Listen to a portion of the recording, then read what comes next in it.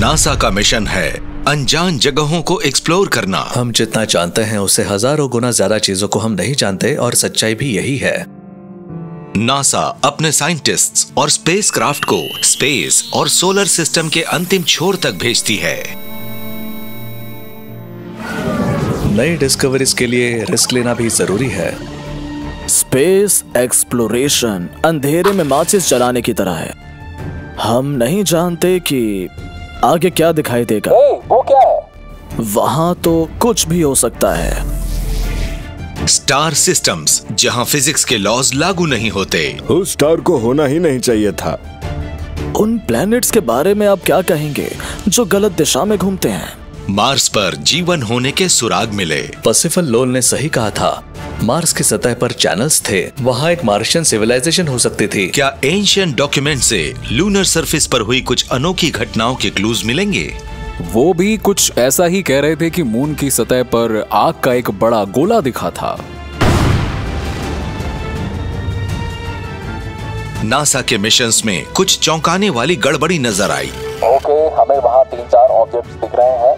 हाँ वहाँ कम से कम तीन और उन्होंने हमारे बेहतरीन वैज्ञानिकों को भी हैरान कर दिया। ये हैं।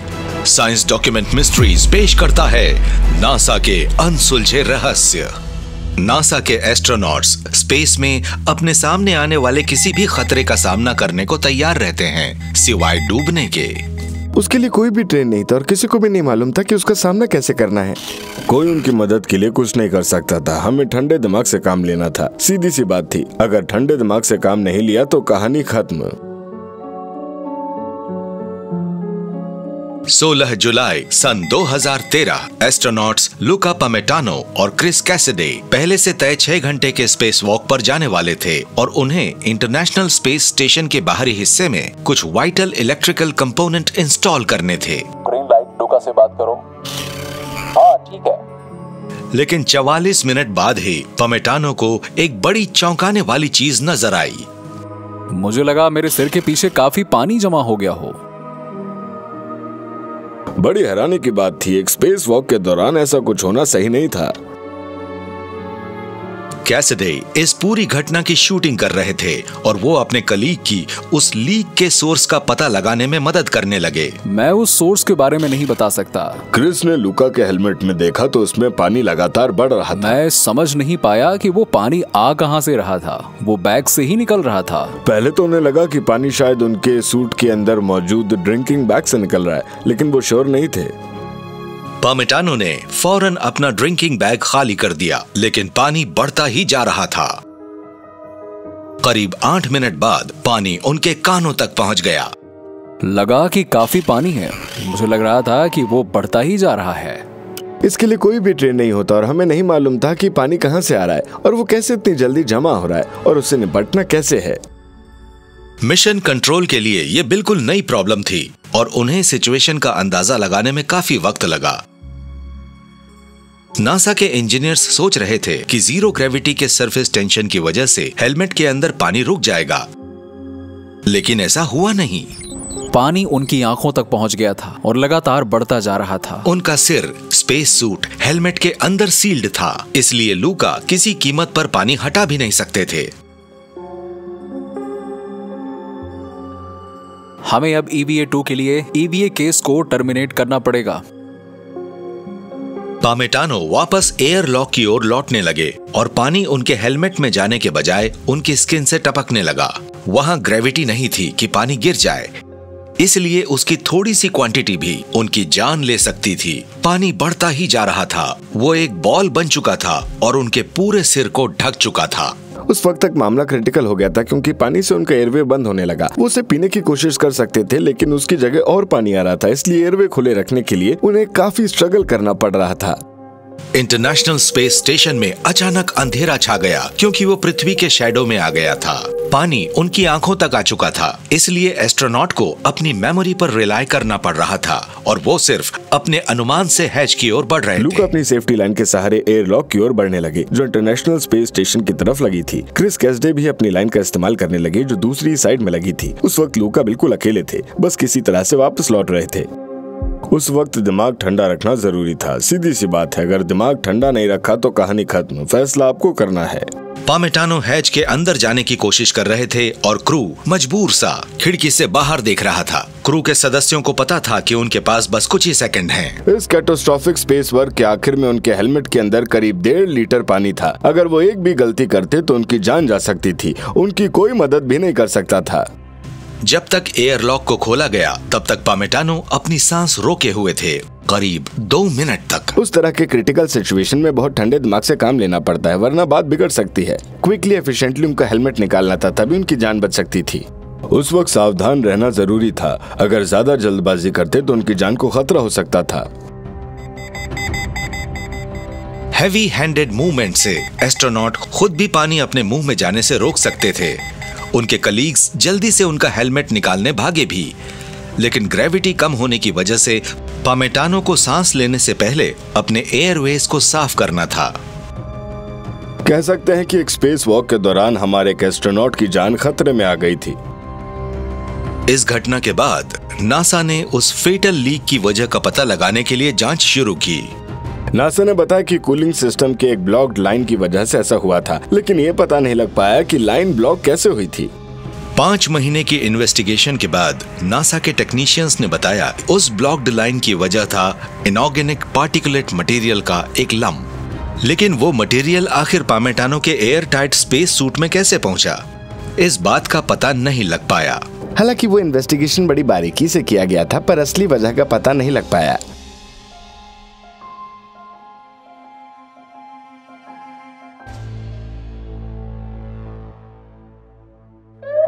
नासा के एस्ट्रोनॉट्स इंसान की जानी पहचानी हदों के पार जाते हैं और इस दौरान कई बड़े खतरों का सामना भी करते हैं। गहरे स्पेस में मौजूद खतरों के बारे में कोई अंदाज़ा नहीं लगाया जा सकता, लेकिन वो असली होते हैं। नासा के साइंटिस्ट ने दो ऐसे प्लैनेट साइज़ ऑब्जेक्ट्स का पता लगाया, जो फिजिक्स के हर लॉ को गलत साबित कर रहे थे। एक प्लैनेट का उस सिस्टम के इक्वेटोरियल प्लेन के बाहर से ऑर्बिट करना अजीब है। यहाँ तो दो प्लैनेट्स ऐसा कर रहे थे। सवाल ये था कि क्या वो सचमुच प्लैनेट्स ही थे?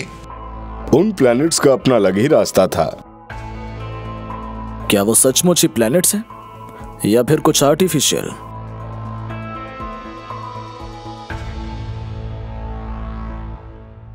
नासा के साइंटिस्ट्स उन घटनाओं का भी सामना करने को तैयार रहते हैं जिन्हें कभी किसी इंसान ने नहीं देखा।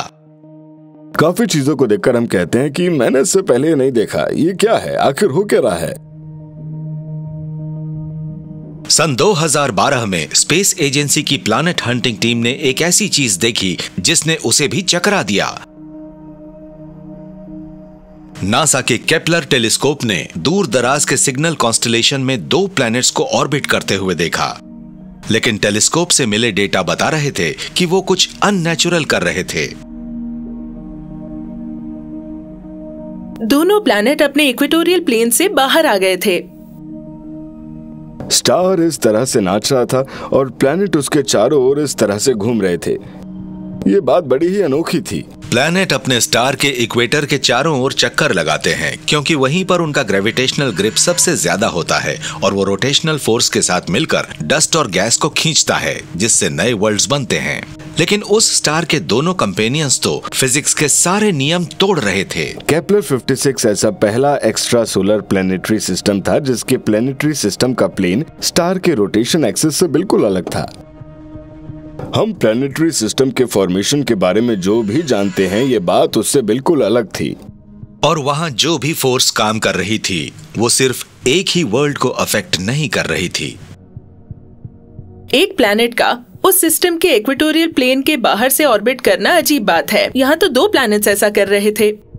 उन प्लैनेट्स के बारे में क्या कहेंगे? जो गलत दिशा में ऑर्बिट कर रहे हैं। तब मन में सवाल उठता है कि कहीं हम कन्वेंशनल प्लैनेट्स के अलावा तो कुछ नहीं देख रहे हैं। क्या वो सचमुच ही प्लैनेट्स हैं? या फिर कुछ आर्टिफिशियल अगर वो बॉडीज आर्टिफिशियल थी तो उन्हें स्टार वॉर्स के खतरनाक डेथ स्टार से कहीं ज़्यादा बड़ा होना चाहिए था। उसकी इंजीनियरिंग इंसान के पास मौजूद टेक्नोलॉजी से कहीं आगे की थी।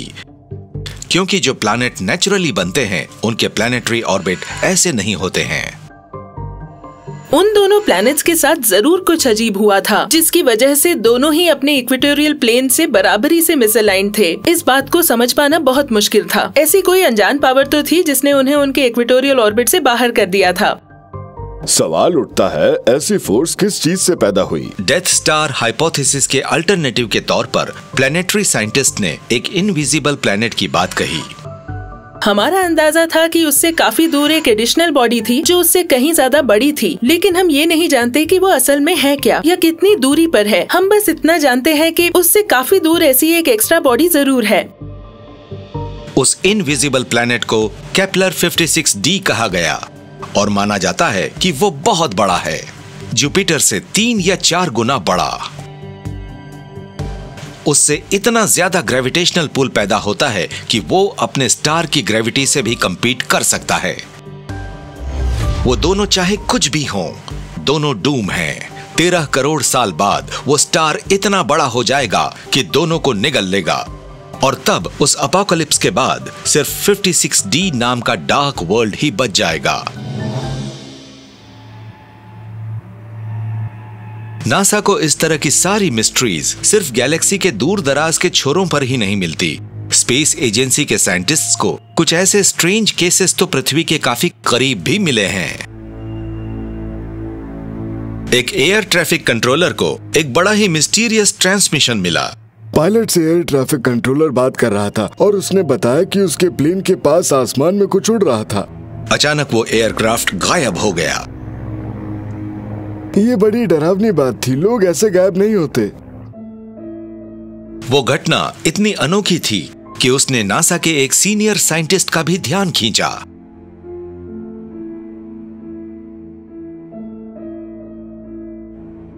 इक्कीस अक्टूबर सन 1978 शाम के सात बजकर छह मिनट पर, मेलबर्न, ऑस्ट्रेलिया के एयर ट्रैफ़िक कंट्रोल सेंटर को ट्रेनी पायलट फ्रेडरी वलेंटिस से एक बड़ा स्ट्रेंज ट्रांसमिशन मिला।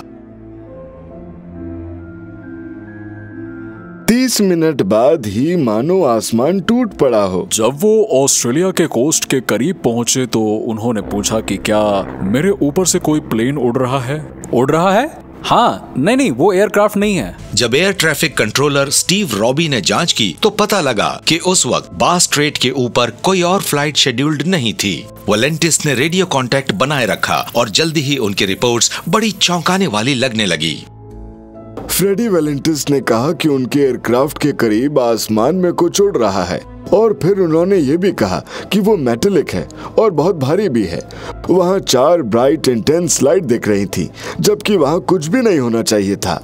उसके बाद किसी ने फ्रेडी वलेंटिस की कोई आवाज़ नहीं सुनी लेकिन उस डूम प्लेन से लगातार ट्रांसमिशन आता रहा। वो आवाज़ बड़ी ही स्क्रैची थी उस ट्रांसमिशन की आवाज़ मेटलिक लग रही थी।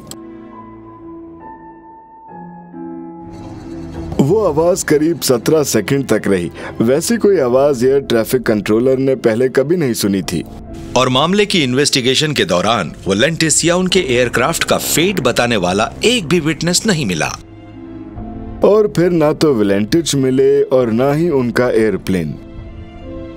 ऑस्ट्रेलियन गवर्नमेंट ने भी इन्वेस्टिगेशन करवाई।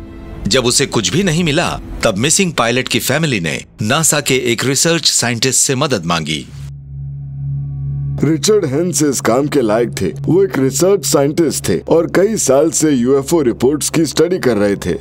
हेंस ने इस घटना को मेलबर्न एपिसोड कहा और नासा में अपनी रिसर्च ड्यूटीज़ के अलावा वो इसकी भी जाँच पड़ताल करते रहे।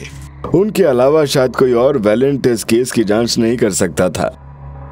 सही जवाब की तलाश में हेंस ने हर लीड की जाँच की। उन्होंने इस केस से जुड़े हर शख्स से पूछताछ की। सारे एयरक्राफ्ट मेंटेनेंस रिकॉर्ड्स देखे। वो हर उस सुराग की जाँच करने लगे जिससे उस प्लेन के बारे में कुछ पता लग पाता। चार महीने की मेहनत भरी रिसर्च के बाद हेंस ने एक ऐसा सुराग ढूंढ निकाला जो पहले किसी ऑफिशियल गवर्नमेंट इन्वेस्टिगेशन में नहीं मिला था। एक अनोखा फोटोग्राफ जिसमें एक अनजान एरियल अनोमली दिख रही थी। ठीक उसी वक्त ऑस्ट्रेलियन कोस्ट से करीब 100 किलोमीटर दूर एक फोटोग्राफर ने सनसेट की एक फ़ोटो ली। इसे आप एक कोइंसिडेंट भी कह सकते हैं लेकिन उस वक्त उस फोटोग्राफर ने जो फ़ोटो ली थी उसमें समंदर के ऊपर आसमान में उड़ता एक अनआइडेंटिफाइड ऑब्जेक्ट दिखाई दे रहा था। एक माहिर इन्वेस्टिगेटर हेंस ने उस फ़ोटो की ऑथेंटिसिटी पर सवाल उठाया लेकिन उसकी वजह से इन्वेस्टिगेशन के कई नए पोटेंशियल एवेन्यूज भी खुल गए थे। वो फ़ोटो भी वेलेंटिस की साइटिंग के समय ही ली गई थी इसलिए ये कहा जा सकता है कि उन दोनों के बीच कोई रिश्ता तो ज़रूर था। हेंस ने अपना पूरा ध्यान वोलेंटिस के फाइनल ट्रांसमिशन से आने वाली आवाजों पर लगाया।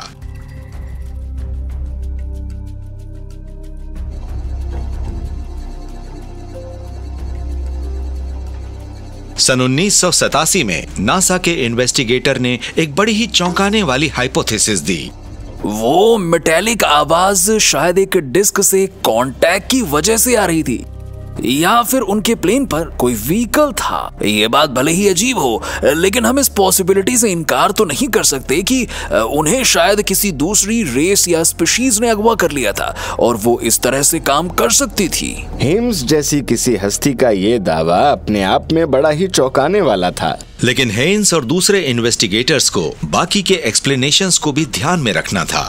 यूएस एयरफोर्स के फॉर्मर पायलट और एस्ट्रोनॉमर जेम्स मकेही ने एक कम कंट्रोवर्शियल थियरी दी, जो अभी तक प्रूव नहीं हो पाई है। ये तो ज़ाहिर है कि उन्होंने जो चार लाइट्स देखी थी, वो मरकरी वीनस मार्स और एक ब्राइट स्टार इम्पीरियस की लाइट्स थी।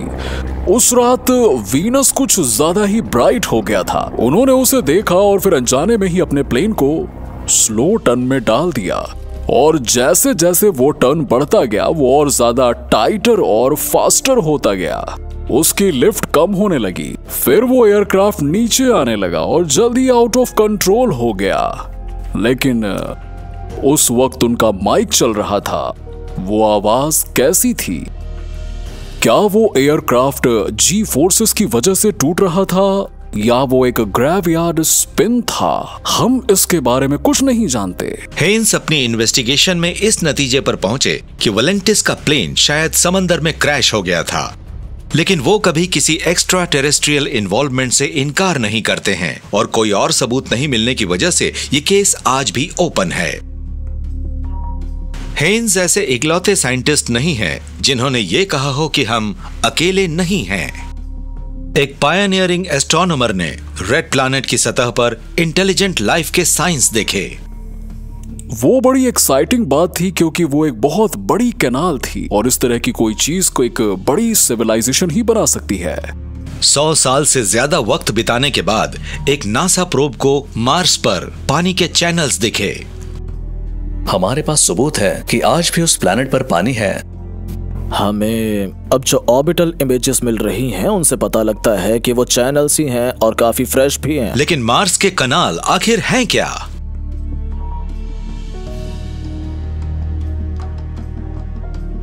आज नासा के बेहद आला दर्जे के स्पेसक्राफ्ट की मदद से हम दूसरे वर्ल्ड्स और डिस्टेंस स्टार्स को देख सकते हैं। आज, इस टेक्नोलॉजिकल प्रोग्रेस की व्हाइट हीट ने कई एंशियंट सुपरस्टिशंस भी तोड़ दिए हैं। लेकिन कुछ बिलीव्स को हम डिसमिस नहीं कर सकते हैं। 5 सितंबर सन 1877 नियंडरथल्स के दौर के बाद प्लेनेट मार्स पहली बार पृथ्वी के बहुत करीब आ गया था। एक इटालियन एस्ट्रोनॉमर जियोवानी स्कैपरेली ने मौके का फ़ायदा उठाया और रेड प्लैनेट को बहुत करीब से देखा। जिवानी स्कैपरेली ने अपने टेलीस्कोप से जो भी देखा था वो उसके बड़े ही मेटिकुलस और हार्ड क्रॉनिकलर थे और मार्स तो उनके लिए फैसिनेशन का सब्जेक्ट था। अपने उन ऑब्जर्वेशंस के दौरान स्कैपरेली ने मार्स की सतह पर कुछ बड़ा ही एक्स्ट्रा ऑर्डिनरी देखा। उन्हें उसकी सतह पर कुछ सफ़ेद लाइंस दिखी जिन्हें उन्होंने कनाल्स कहा। जब रेड प्लैनेट पर कनाल्स जैसी नज़र आने वाली उन चीज़ों के नेटवर्क की खोज हुई तो अमेरिकन साइंटिफिक कम्युनिटी के कई बड़े प्लेयर्स पर बहुत गहरा असर हुआ। पर्सिवल लॉवल बड़े मशहूर अमेरिकन एस्ट्रोनॉमर थे। उन्होंने मार्स पर जो पैटर्न्स देखे थे, उन्हें ड्रॉ किया और वो कैनाल्स ही थे। जब ये बात उठी कि मार्स पर शायद कनाल्स का नेटवर्क है तब एस्ट्रोनॉमर्स ये भी कहने लगे कि शायद मार्शियन सिविलाइजेशन भी हो। लोवल ने इस बात को काफ़ी पॉपुलराइज किया था कि मार्स पर एक डाइंग सिविलाइजेशन है और उसने ही इक्वेटर तक पानी ले जाने के लिए वो कैनाल्स बनाए थे। उनकी ये कहानी बड़ी मशहूर हुई थी। मार्शन सबके फेवरेट एलियन है और उनकी बात तो कई सौ साल से की जा रही है। आज से करीब सौ साल पहले लोग मार्स पर मौजूद कैनाल्स की बात करते थे और मार्स पर वो कैनाल्स माइक्रोब्स ने तो नहीं बनाए थे। मार्शियन सिविलाइजेशन की बात कनाल्स के एक नेटवर्क पर बेस्ड है और ये बात ट्वेंटी सेंचुरी में मेन स्ट्रीट पॉप कल्चर का एक अहम हिस्सा बन गई थी। एडगर राइस बरोज ने टार्जन बनाकर बहुत नाम कमाया, लेकिन उनकी मार्शियन एडवेंचर स्टोरीज भी बहुत कामयाब हुई और हमें आज भी पसंद है। सन 2012 में आई डिज्नी की मूवी जॉन कार्टर भी उन्हीं की कहानियों पर बेस्ड थी। लेकिन बहुत कम लोग ये जानते हैं कि दुनिया की चौथी सबसे महँगी फ़िल्म 19th सेंचुरी की एस्ट्रोनॉमी से इंस्पायर्ड थी। ये बात मानी जा रही थी कि वहाँ एक एडवांस सिविलाइजेशन है जो अपने डाइंग प्लेनेट को बचाना चाहती है। ये सब हुआ था दूसरे प्लेनेट पर। इसकी वजह से वो जगह भी ह्यूमन कल्चर का हिस्सा बन गई। ह्यूमन स्टोरी का हिस्सा बन गई। लंबे समय से पृथ्वी पर रहने वाले लोग मानते थे कि वहाँ मार्शियंस हैं। फिर हमने वहाँ सैटेलाइट्स भेजे, प्रोब्स भेजे और उन्होंने वहाँ से मास की क्लोजअप पिक्चर्स ली। लेकिन उन्हें वहाँ कैनाल्स, पानी या फिर एटमॉस्फेयर ऐसा कुछ भी नहीं दिखा। वहाँ बड़ा ही हार्श एनवायरनमेंट है। गर्मियों में भी temperature minus fifty degree centigrade होता है। हवा बहुत कम है और जो है वो भी अच्छी नहीं है। ऐसे में यह कहना बड़ा ही अजीब सा लगता है कि वहाँ पर मार्शियंस हैं जो दोपहर का मज़ा लेते हैं, क्योंकि ये बात समझ में नहीं आती है। लोवल ने जिन चैनल्स को देखा था, वो किसी मार्शियन सिविलाइजेशन के साइंस नहीं थे। नासा के सर्वे मिशन से उन चीज़ों के अल्टरनेटिव एक्सप्लेनेशंस मिले, जो उन्होंने अपने प्रीमियम टेलीस्कोप से देखी थी। शेपरेली और लोवेल। पृथ्वी से एक टर्बुलेंट एटमॉस्फेयर के पार मार्स को देख रहे थे और उनके टेलीस्कोप्स का कांच भी बहुत अच्छा नहीं था।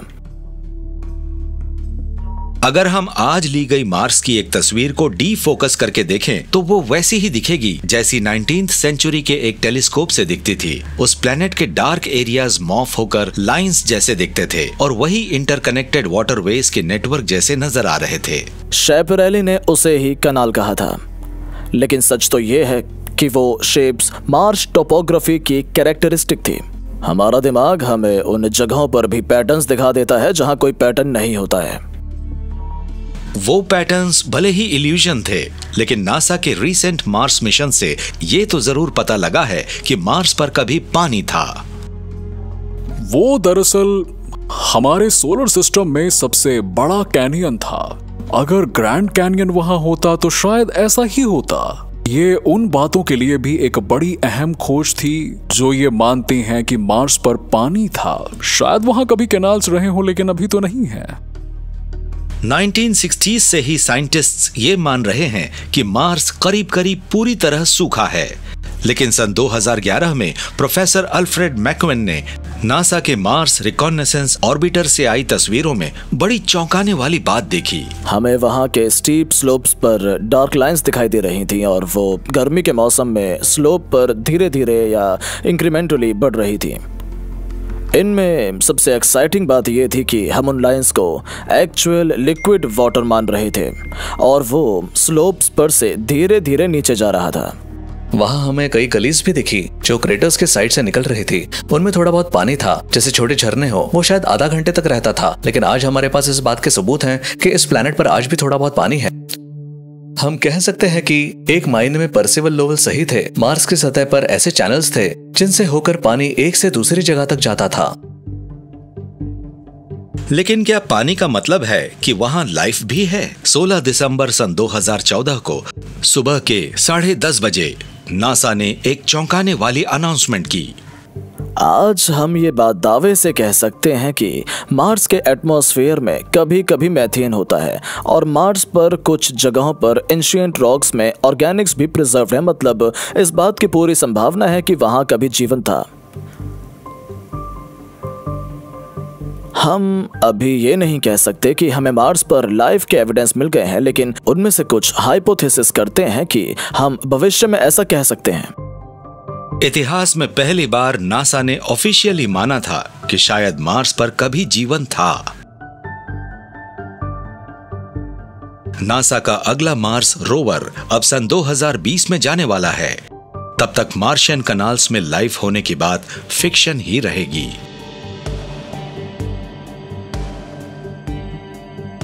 एक मिस्टीरियस एस्टेरॉयड बड़ी अजीब हरकतें कर रहा था। वहाँ आखिर क्या हो रहा था? वो बड़ी ही अनोखी बात थी। कहीं ये स्पेस रॉक किसी इंटेलिजेंट कंट्रोल में तो नहीं था। अगर वो एस्ट्रॉइड ही था तो वो उन एस्ट्रॉइड से बिल्कुल अलग था जिन्हें हमने आज तक देखा है। कुछ साइंटिस्ट मानते हैं कि एक एस्टेरॉयड बड़ी आसानी से एक शिप में ट्रांसफॉर्म हो सकता है। एक एस्टेरॉइड किसी स्पेसक्राफ्ट के लिए परफेक्ट रेडीमेड शल होता है। हम इंसान इतनी बड़ी चीज़ें नहीं बनाते।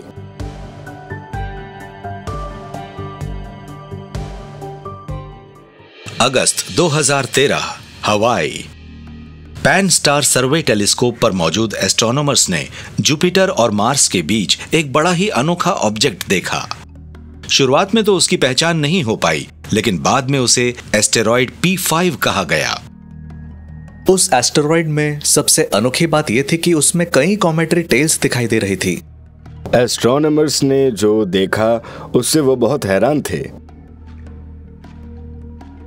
करीब महीने भर बाद एस्ट्रोनॉमर्स ने उस ऑब्जेक्ट को नासा के सबसे पावरफुल हबल टेलीस्कोप से देखा और जो नज़र आया वो चकरा देने वाला था। उसके सिर्फ़ कई टेल्स ही नहीं थी बल्कि उस एस्ट्रॉइड के न्यूक्लियस से छह बड़ी डिस्टिंग टेल्स निकल रही थी। हम जब भी उसे देखते वो अलग नज़र आता।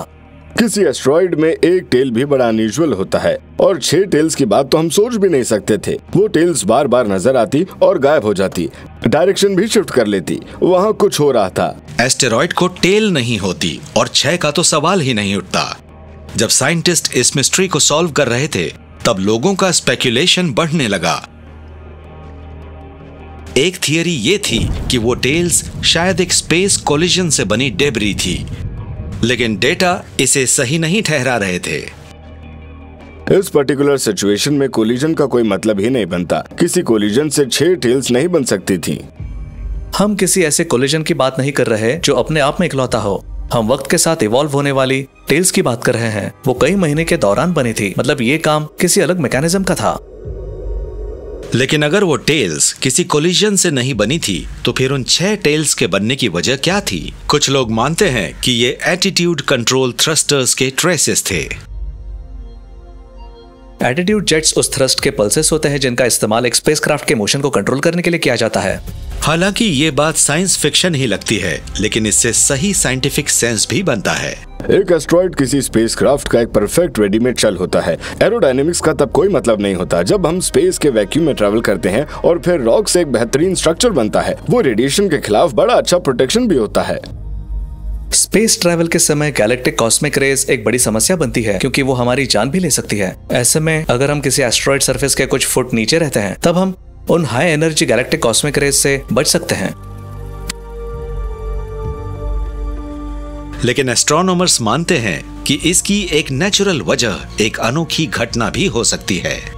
ऐसा लगता है कि जब हम P5 में देख रहे हैं वो असल में सूरज के रेगुलेशन से घूमते एक ऑब्जेक्ट की वजह से हो रहा है। और एक समय पर वो इतनी तेज़ी से घूमता है कि मटेरियल उसकी सतह छोड़ने लगते हैं। इसलिए जब हम इसे किसी दिन देखते हैं तो उसकी टेल ओरिएंटेशन की दिशा में नज़र आता है। लेकिन जब हम उसे दूसरे दिन देखते हैं तो वो पिछली बार के मुकाबले कई बार स्पिन करता है। इसलिए इस बार उससे चीज़ें बिल्कुल अलग तरह से नज़र आती हैं। इसलिए ये एक स्पिनिंग प्रॉब्लम है। कोई स्टीयरिंग प्रॉब्लम नहीं है। कुछ एस्टेरॉइड्स इन हाई स्पिन रेट्स की वजह से बिखर जाते हैं, लेकिन ये वाला काफ़ी सख्त था, इसलिए नहीं टूटा। उन अनस्टेबल मटेरियल के एवलांचेस बहुत तेज़ी से पीक से घाटी की ओर आते हैं और स्पेस में मटेरियल के फाइन स्ट्रीम की तरह फैलते हैं, जो एक टेल की तरह दिखाई देते हैं। अगर P5 एक एस्टेरॉयड भी है तो स्पेस रॉक्स को स्पेस क्राफ्ट में कन्वर्ट करने की बात उतनी भी चौंकाने वाली नहीं होगी, जितनी सुनने में लगती है।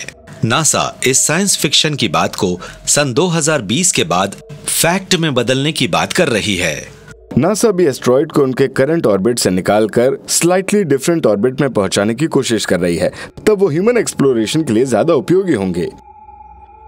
एस्ट्रॉइड्स बेहतरीन स्पेस व्हीकल्स बन सकते हैं। हम उनके ऊपर लैंड करके कहीं भी जा सकते हैं। तो एक तरह से ये भी स्पेस में ह्यूमन एक्सप्लोरेशन का हिस्सा होगा। हम एस्ट्रॉइड्स पर लैंड करेंगे और हम भी वहीं जाएँगे जहाँ वो जा रहे हैं।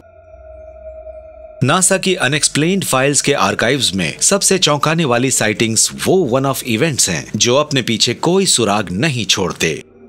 जब हम ऐसे किसी चीज़ के बारे में सुनते हैं तो दिमाग में सबसे पहले किसी डेवास्टेटिंग हथियार की ही बात आती है।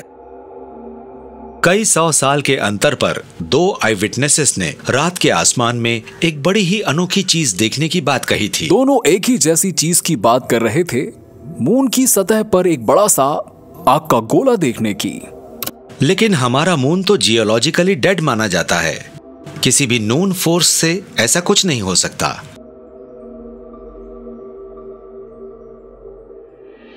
नासा के स्पेसक्राफ्ट्स और टेलीस्कोप बड़े ही इनक्रेडिबल रेट पर डिस्टेंट प्लैनेट और स्टार सिस्टम्स के नए डेटा जमा करते हैं। लेकिन कुछ बड़ी ही कंपेलिंग मिस्ट्रीज आती हैं, बिल्कुल अनएक्सपेक्टेड सोर्सेस से। 5 नवंबर सन उन्नीस फिजिशियन और amateur astronomer doctor Leon Stuart lunar surface के मेटिकुलस ऑब्जर्वेशन की तैयारी कर रहे थे। सर्दियों के मौसम में एक रात उन्होंने कुछ बड़ा ही अनोखा देखा।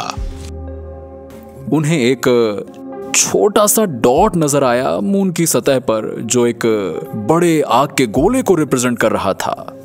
स्टूवर्ट ने फ़ौरन कैमरा उठाया और उस वियर्ड इवेंट की तस्वीर ले ली। स्टूवर्ट की उस फ़ोटो में मून के ऊपर एक ब्राइट स्पॉट नज़र आ रहा था। वो क्या था ये किसी के समझ में नहीं आ रहा था। स्टूवर्ट मान रहे थे कि उन्होंने मून की सतह पर एक मैसिव ऑब्जेक्ट को एक्सप्लोड होते देखा था। उन्होंने अपनी साइटिंग को पब्लिश करवाया लेकिन सपोर्टिंग फोटोग्राफिक एविडेंस होने के बावजूद साइंटिफिक कम्युनिटी ने उनकी बात पर यकीन नहीं किया। कई साल तक स्टूवर्ट के ऑब्जर्वेशंस को इग्नोर किया जाता रहा, यहाँ तक कि उनका मज़ाक भी उड़ाया गया। उस इंसिडेंट को स्टूवर्ट इवेंट कहा गया, और वो करीब 50 साल तक इन्वेस्टिगेटर्स को हैरान करता रहा।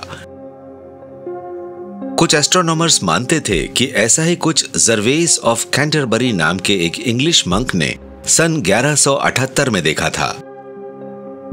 फाइव मंक्स ने कहा था कि मून एक फायरी स्फीयर की वजह से दो टुकड़ों में बट गया था। उसकी टक्कर से पूरा मून कांपने लगा था। उस वक्त भी हम एक ब्राइट न्यू मून को देख रहे थे, जो उस फ़ेज़ में नज़र आता है। उसके हॉर्न्स तब ईस्ट की ओर झुके हुए थे।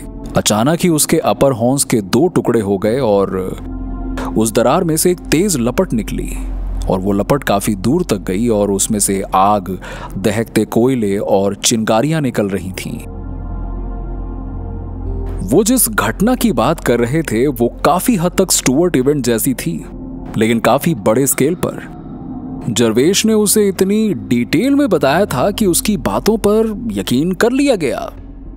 आसमान से आया एक फायरी स्फेयर जब हम ऐसे किसी चीज़ के बारे में सुनते हैं तो दिमाग में सबसे पहले किसी डेवास्टेटिंग हथियार की ही बात आती है।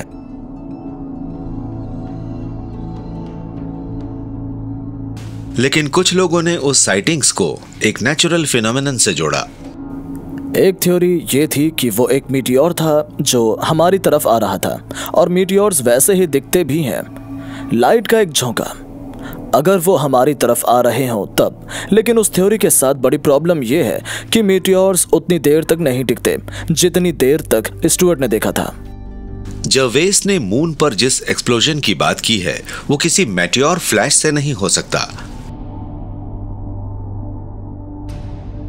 नासा ने उन साइटिंग्स को इतना सीरियसली लिया कि उसने सन 2002 में अपनी जेट प्रोपल्शन लेबोरेटरी की एक टीम को स्टुअर्ट की इस फ़ोटो को एनालाइज करने को कहा ताकि इस राज का पता लग सके। उन्होंने शुरुआत में इसे एक एस्ट्रॉइड इम्पैक्ट माना। और फिर वही किया जो साइंटिस्ट हमेशा करते हैं। वो सबूत ढूँढने लगे। जेपीएल टीम ने स्टुअर्ट की फ़ोटो देखी और फिर ये अंदाज़ा लगाने लगे उस फ़ोटो में जो एक्सप्लोजन दिख रहा है उसके लिए कितनी इम्पैक्ट एनर्जी की ज़रूरत पड़ेगी। इसके अलावा वो उस इम्पैक्ट से बने क्रेटर के साइज़ का भी अंदाज़ा लगाने लगे। नासा टीम ने सन उन्नीस सौ चौरानवे में क्लेमेंटाइन स्पेसक्राफ्ट से ली गई मून की सतह की 6 लाख हाई रेजोल्यूशन फ़ोटोज़ की मदद से उस क्रेटर को ढूंढना शुरू किया। उन इमेजेस की क्रॉस रेफरेंसिंग से उन्होंने उस क्रेटर के पॉसिबल साइज़ का अंदाज़ा लगाया और तब उन्हें एक पॉसिबल कैंडिडेट भी मिल गया। जब क्लेमेटाइल लूनर ऑर्बिटर उस इम्पैक्ट के प्रोबेबल लोकेशन पर पहुँचा, तब वहाँ एक फ्रेश क्रेटर नज़र आया। और फिर क्या था? जैकपॉट हमने उसे ढूंढ लिया था। मून की सतह पर अनगिनत क्रेटर्स हैं। उनमें से कुछ तो कई करोड़ साल पुराने हैं। लेकिन क्लेमेंटाइन इमेज में दिख रहे क्रेटर की क्लोज एनालिसिस से पता लगा कि वो स्टूवर्ट साइटिंग के आसपास ही बना था। हम जानते थे कि वो नया है, क्योंकि क्रेटर से निकली डेबरी गहरे नीले रंग की थी। और स्टुअर्ट के ऑब्जर्वेशन के बाद उसी जगह पर क्रेटर बन सकता था। नासा के डेटा बता रहे थे कि स्टुअर्ट ने करीब 22 मीटर चौड़े एस्टेरॉइड को मून की सतह से करीब चालीस हज़ार किलोमीटर प्रति घंटा की रफ्तार से टकराते हुए देखा था। वो ब्लास्ट हिरोशिमा पर हुए न्यूक्लियर एक्सप्लोजन से 35 गुना ज़्यादा पावरफुल था। मून से टकराने के बाद वो वही रुक गया। उससे निकली सारी काइनेटिक एनर्जी फ़ौरन हीट में बदल गई। उससे मून की सतह इतनी गर्म हो गई कि वो चमक कर सफ़ेद दिखने लगी। उस फ्लैश को पृथ्वी पर से भी कोई देख सकता था।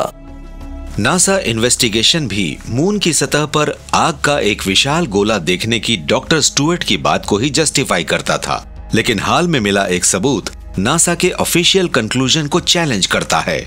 वो मिस्ट्री एक बार फिर से खुल गई थी और उसकी वजह ये थी कि कुछ पुरानी फ़ोटो से पता लगा कि वो क्रेटर असल में स्टुअर्ट के ऑब्जर्वेशन से काफ़ी पहले से वहाँ था। ऐसे में मिस्ट्री बरकरार थी कि स्टुअर्ट ने असल में क्या देखा था। हम उसे एक अनएक्सप्लेन्ड पजल तो नहीं कह सकते।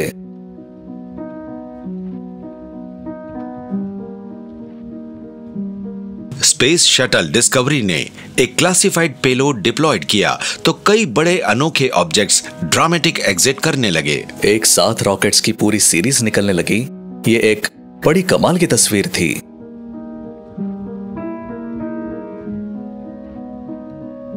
आखिर mission S D S thirty nine space में क्या डिप्लॉय कर रहा था? उस कैनिस्टर में मौजूद चीज़ों के डिटेल्स आज भी क्लासिफाइड हैं। जब नासा के साइंटिफिक मिशंस इंसान के नॉलेज के फ्रंटियर्स को पार करते हैं तब ये स्पेस एजेंसी हमेशा चर्चा में आ जाती है। लेकिन उसके कई मिशन ऐसे भी होते हैं जो सीक्रेसी की चादर में ढके रहते हैं। 28 अप्रैल सन उन्नीस सौ इक्यानबे को कई टेक्निकल डिलेज के बाद नासा के कैनेडी लॉन्च प्लेटफॉर्म से स्पेस शटल डिस्कवरी को फाइनली ब्लास्ट ऑफ़ किया गया। Three two one department of defence के लिए रिसर्च फ़्लाइट डिस्कवरी का इग्निशन और लिफ्ट ऑफ़ हो चुका है।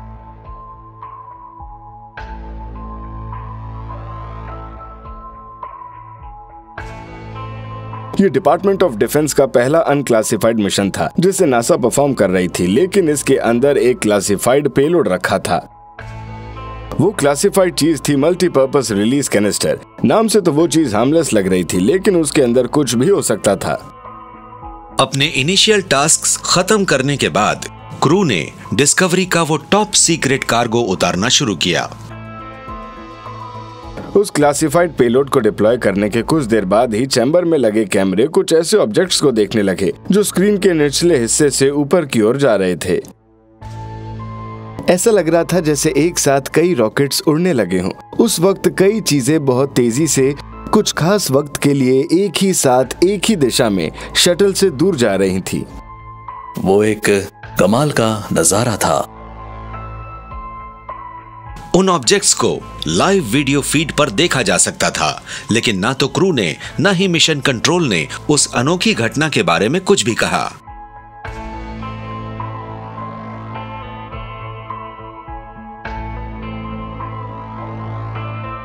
Classified mission communications strictly controlled होते हैं। डिपार्टमेंट ऑफ़ डिफेंस से जुड़ी कोई भी बात सिर्फ़ मिलिट्री ही सुन सकती है।